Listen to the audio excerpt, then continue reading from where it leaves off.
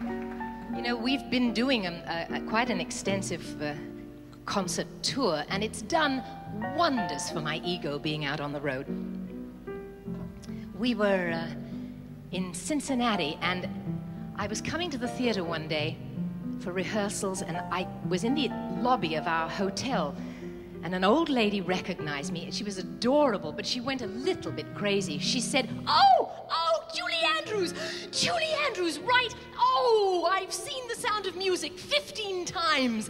And I said, Really? 15 times? And she said, Oh, yes, I never miss a good Christopher Plummer movie.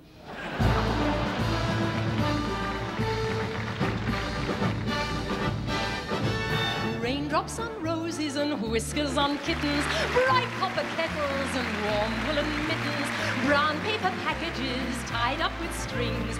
These are a few of my favorite things.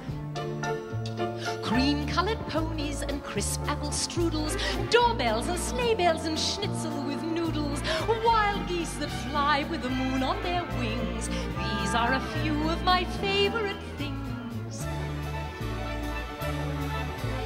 Girls in white dresses with blue satin sashes, snowflakes that stay on my nose and eyelashes, silver white winters that melt into springs. These are a few of my favorite things. When the dog bites, when the bee stings, when I'm feeling sad, it's then I remember my favorite things. I simply remember my favorite things.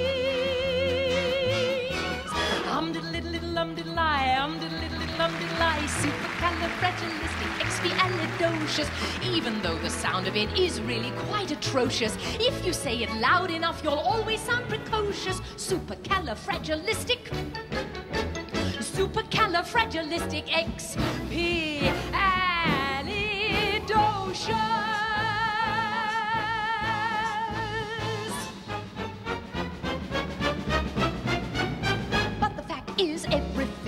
today is thoroughly modern.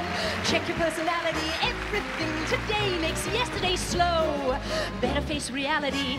Men say it's criminal what women will do. What they're forgetting is this is 1922. Have you seen the way they kiss in the movies?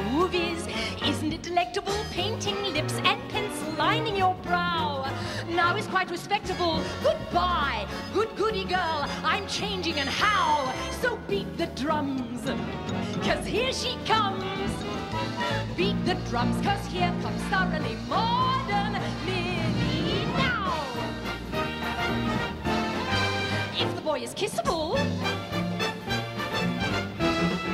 now it's quite permissible. Goodbye, good goody girl. I'm changing and how? So beat the drums.